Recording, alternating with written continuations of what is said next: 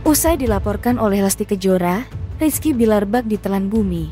Tak ada penjelasan darinya usai dituding berselingkuh dan melakukan kekerasan fisik terhadap istrinya sendiri. Akhirnya Yudi Revan, kakak dari Rizky Bilar, berkomentar. Ia merasa perlu bersuara setelah desakan yang datang di media sosial begitu besar terhadap dirinya dan keluarga. Assalamualaikum warahmatullahi wabarakatuh. Di sini saya mau menjelaskan masalah DM yang masuk. WA yang gak bisa saya balas satu persatu.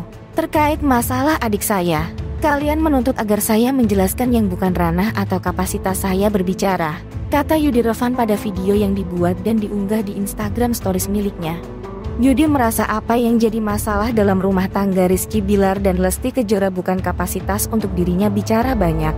Akan tetapi, Yudi meminta tak ada oknum-oknum yang menggiring opini terhadap masalah yang tengah dihadapi adiknya.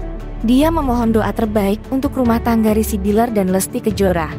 Saya berharap dan saya mohon doanya aja yang terbaik buat mereka berdua, bukan malah menggiring opini yang nantinya akan merugikan kedua belah pihak dan kalian. Terima kasih. Selamat siang.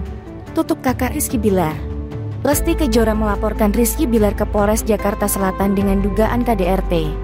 Dalam kronologi yang tertulis pemeriksaan polisi tindak KDRT diduga terjadi setelah Lesti Kejora mengetahui Rizky Bilar selingkuh. Diduga apa yang dilakukan oleh Rizky Bilar kepada Lesti Kejora dilakukan berulang-ulang,